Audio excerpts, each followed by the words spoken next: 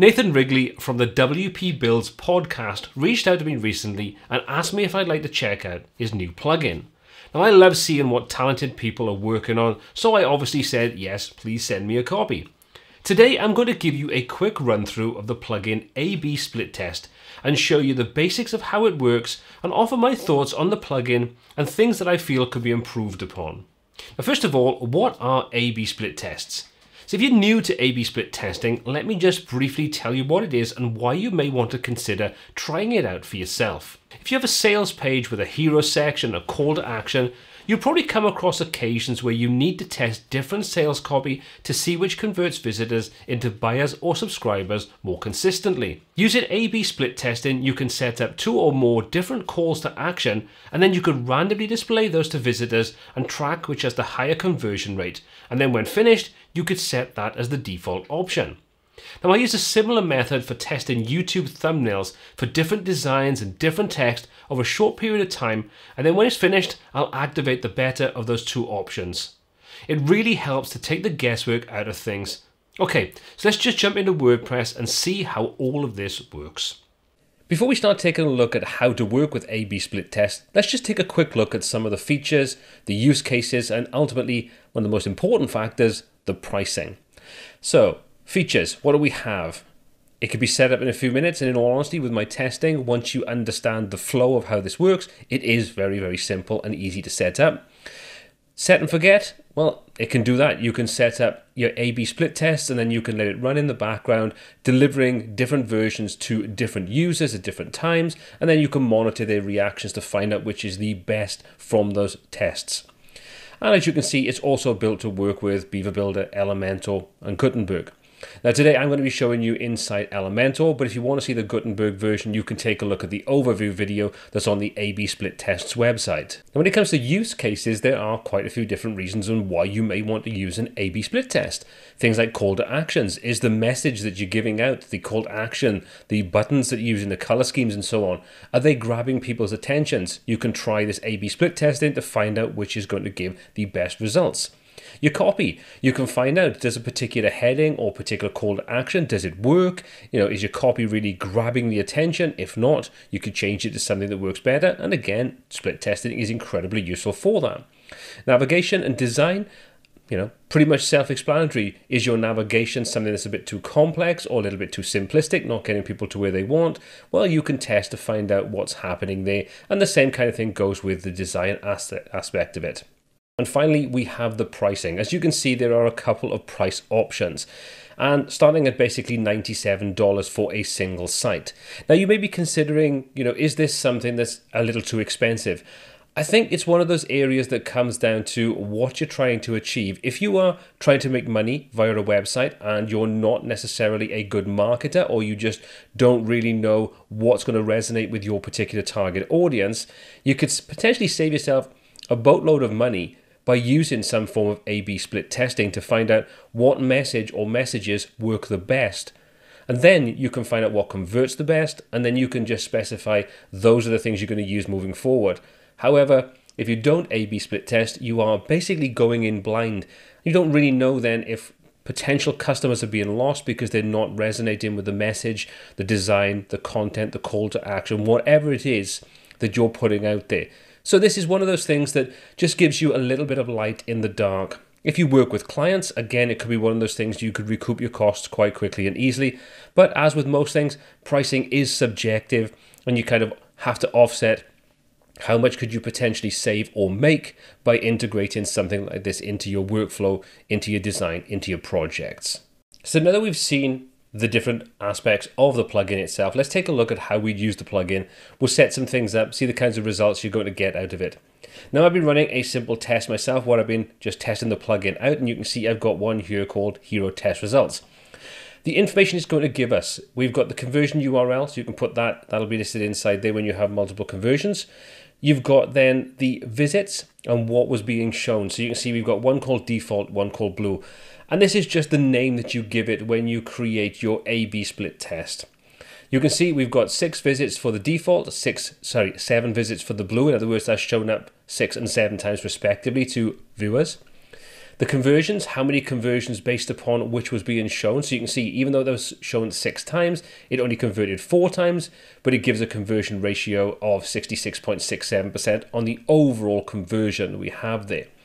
And then we've got blue, which is displayed seven times and only converted two times, which gives it a lower conversion rate. So just using these results, you would suggest that the, the default would be the better option. But obviously, with anything like this, you want to run this for a longer period of time so you can get more relevant data. You may want to run it for like about 14 days, depending upon the amount of traffic you have going through your site to give you a real understanding of the figures that are being sort of displayed, the interactivity, the conversion rates, and all those kinds of useful pieces of information. If we click and go into this, we'll find out even more info. So you can see the variation. And again, it tells us this we need more data because this experiment is running, but it hasn't been running very long. So you can see the recommendation is for seven days, but up to you how long you want to run it based upon the traffic. Okay, so if you wanted to, you could reset these results. You may have tweaked something and you don't want to start the, the test all over again. You want to leave everything built out. You just want to try out your new version. Well, you could reset those results and start again. We've also got then different kinds of conversion modes. We've got conversion module and the URL. Now for this example, we're going to stick to the conversion module because this is the easiest one to work with. So I'm going to leave that as it is. And you can see we've got targeting and you can put in UTM parameters if you want to, to sort of set this up in a much more useful fashion where you can grab a lot of data. You know, I don't really deal with UTM sources too much, but I'm sure if you do, you know, you want to track things like Google, Facebook, and so on, where traffic's coming from, and all those kinds of good things, it is built into this particular plugin. And then you can see we can enable tracking for the following user roles. So if you were an administrator, then you don't want to track yourself as you move around the site and testing things out. You want to limit that. And the same may go for editors and authors and contributors. You may just want subscribers, customers if you're working with something like WooCommerce installed and so on, logged out users, all those kinds of useful bits of info. So you can restrict exactly who can actually interact with this and trigger those results. Then you've got autocomplete, which, you know, we're going to leave that as it is. I'm not going to worry too much about that side of things. But obviously, take your time, have a little read through, see what's relevant to you and how you want to set your A B split tests up. Okay, so let's create a new split test. So what we're going to do is we're going to come over and say new A B test. Now click on there and now we're going to give just some basic info. And you can see this is the same info we just saw when we opened up that already running example, you know, the conversion module, etc., etc., etc. So we just need to fill out some real basic info here to get this up and running.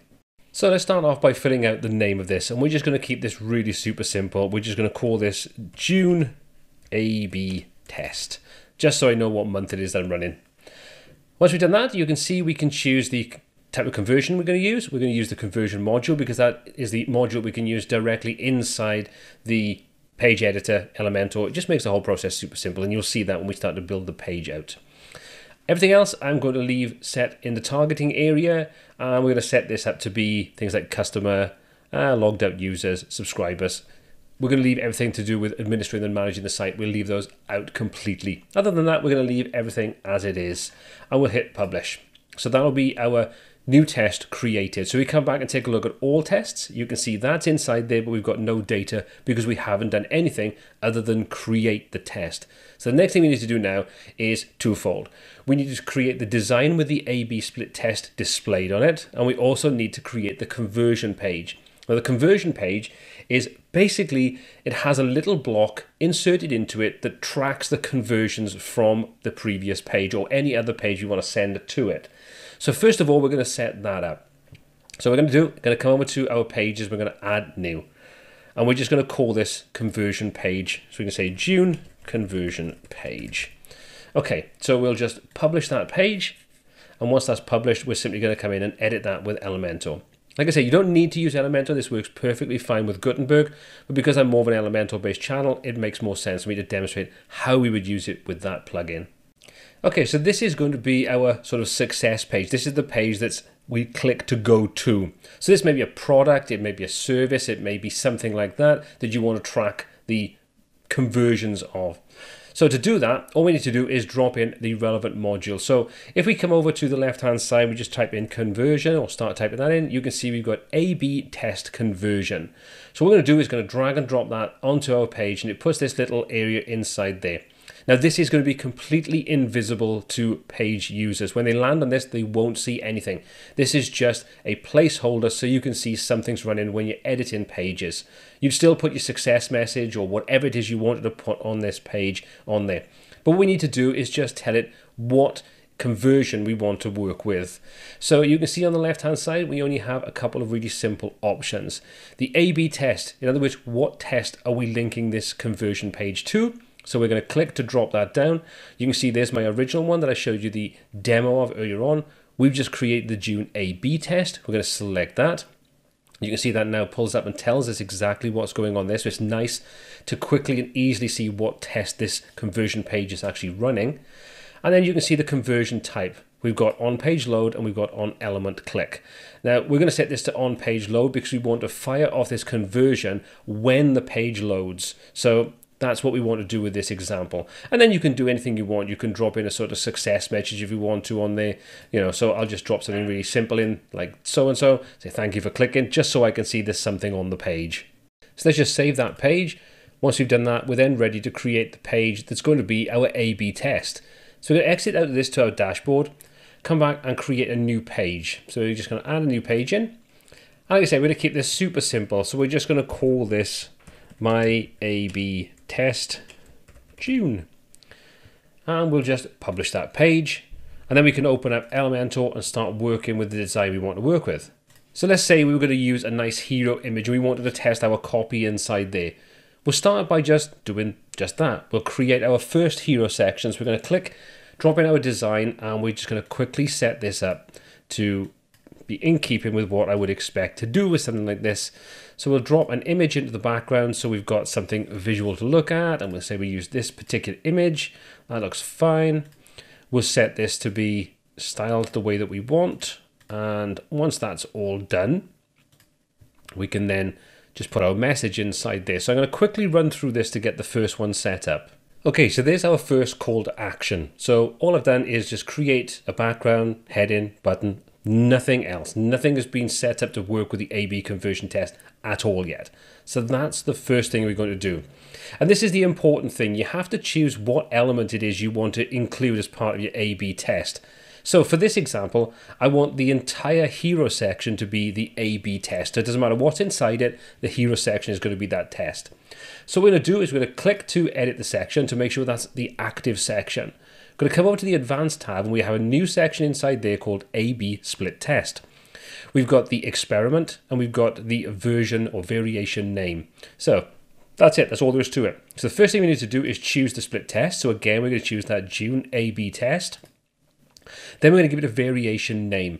And this is what you're going to kind of track in the background. So depending upon the number of variations you may create, then each one has to have a unique name. But it's recommended that the very, very first one, the first call to action, the first A-B test, whatever it is, is always named default. Now underneath you can see it says by using default this will call this version to run first unless otherwise targeted. So that's kind of the, the, the as the name would suggest, the default. That's going to be the first one that would run each time. So just bear that in mind. First one called default. Okay, so we've created that. We now need to just do one other thing, and that's link it through the relevant clickable item to go through to the conversion page that we just created. Because we've only got the button that's a clickable item, even though this is all wrapped inside that A-B split test, clicking that button will send it off to that conversion page and also track whether this is the default, whether it's going to be the blue or the green or whatever it is you kind of name it consecutively. So let's just select the button. Once that's active, we're going to make sure we've got the link inside there. I'm going to just type in June and here's our June conversion page. So we're going to select that as the link through to, you know, from this button kind of thing. Okay, so that's the first of the A-B split tests set up. Now, obviously, we need to create a second variation. So what we're going to do is we're going to just click, we're going to right click, and we're going to say duplicate. That will give us an identical copy underneath. And now we can just change the things that we want to change inside there to make it different. So we may want to change the name of their call to action. So we're just going to call this call to action 2. We've got to change the, the button, for example. We'll change the color of that. So we'll come over to the styles and we'll just change that from red and we'll set that to be blue. And obviously the link that the button takes you through to, that's going to stay the same. We're going to change the background image as well. So we come to our style section and we'll change this image and we'll put a completely different one inside there. Insert that. So you can see we now have a totally different call to action hero section. But we need to do one very important thing, and that's change the name of it. Otherwise, the A-B split test is going to keep registering the same information no matter which one is being displayed. So we're going to select it. So that's the entire section selected, back out the advanced section. The experiment is perfectly fine. We just need to change the variation name and we're just going to call this blue. I'm going to put underscore button. You can call this whatever you kind of wanted. It's just a naming convention for it. So the first one's called default, which is going to be the default hero section you'll see. The second one is called blue button. And now we're going to hit update on there. And providing everything is set up exactly as we need it to be, when we start testing these when we're logged out, obviously remember we've set this up so an administrator, you won't see it working correctly. We need to be in incognito mode or we need to be a non-logged in user on a clean browser, for example. So let's take a look at this now. Now it may take a couple of runs before we'll see the changes because obviously this is completely randomized. This isn't a case of show one to one person, show another to another, and then back and forth, back and forth. It is totally randomized. So I've a blank incognito mode window, dropped in the URL to that page, and we'll just hit enter on there and you can see we get the blue button which is quite cool because I was expecting to get the red button. So there's one thing and then we click on this to register that conversion. Remember just by accessing and landing on the page doesn't mean anything. We're not tracking the landing on the page we're tracking the effectiveness of the call to action in this example the result that we want. So we're going to click on that that registers it and you can see now thank you for clicking because that's gone over to our conversion page you can see that little module we inserted is completely invisible. No one will see that.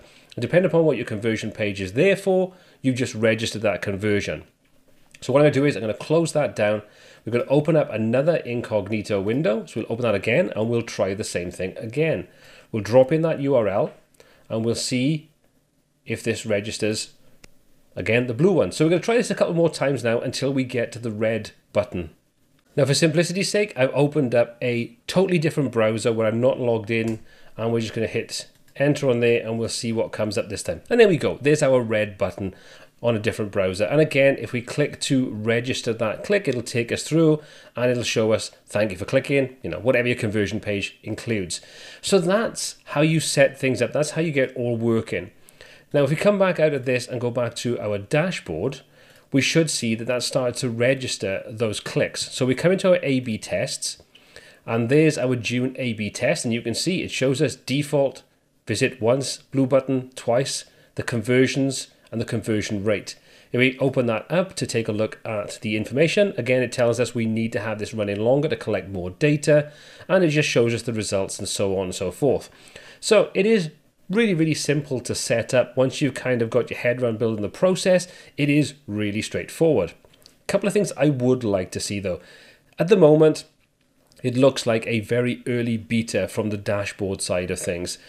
I would love to see more stylized kind of layouts for you know the results and things nicer looking charts information like that just to give you a more pro level kind of look and feel, especially for the price that's being charged for this. While not extortionate price wise, it is a considerable investment for some people that are new to e commerce, new to selling online, or new to A B split testing. It's very easy, works well, but I do think there's a little bit of finessing that I think could go on to make it just go up to a slightly more pro look and feel from the dashboard point of view.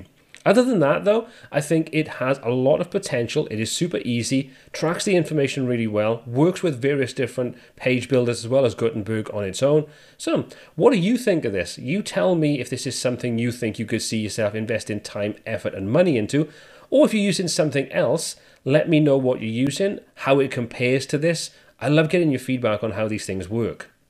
A-B split testing is one of those areas that can make a massive impact on your ROI or return on investment, especially when you need to optimize various parts of your website, call to actions, or sales process.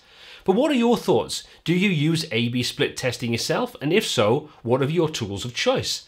Drop a comment in the comment section below and let me know your preferences. As always, all of the applicable links are included in the description below, so if you want to check out, you can take a look at those. If you want to learn more by getting more out of WordPress, take a look at the videos you can see on screen next. My name is Paul C. This is WP Tuts, and until next time, take care.